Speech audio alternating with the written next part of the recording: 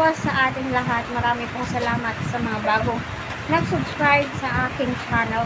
Especially mga supporters po ni Kalingap Eds at saka ni Beyonce. Naway po palain po kayo ng Panginoon. Naway patuloy po natin suportahan si Kalingap Lab, Kuya Bal at ang buong team.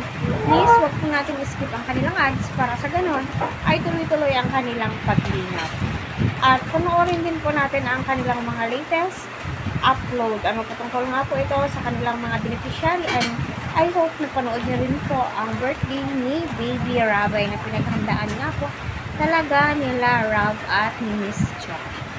So, ngayon no, yung topic po natin ay nakabasa niyo naman po mismo kasi marami pong nagko-comment against Beyonce.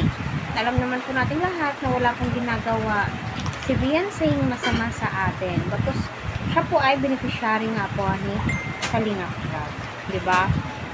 So, ngayon naman po ano, si Beyonce, ang napapansin ko sa kanya ay naiilang po siya kay Kalinga Eds. Di po niya lubos akalain na papasok po agad si Kalinga Eds ano na bilang tandem niya ano so unang-una para sa akin alam na po yan ni Beyonce. Kapag usapan na po nila ni Kalingap Ed eh hindi naman po natin alam kung ano po yung mga salitang um, ibabato or mga hugot line ni Kalingap Ed ano so kita naman po natin ano na no choice din po itong si Eds na hindi pwedeng hindi siya magsalita. Kasi nga itong si Beyonce is kita po natin mahiyain po siya. Ano palangiti no? Always din po siyang nakatitig kay Kalingap Edo eh syempre nahihiya. Kung tutuusin kuya niya yun eh. Ba? So ang gusto lamang po nila ay tulungan si Beyonce.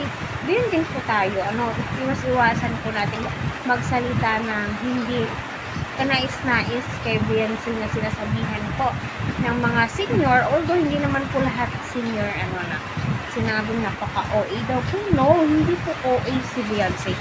So, ganun lang po talaga siguro ang kanyang katangian, ano, yung nahihiya. Ano, so, sino ba naman ang hindi mahihiya kay Kalingap Eds, kung tutuusin? Kahit naman siguro kung ako yung nasa harap ni Kalingap Eds, ay mahihiya din po ako.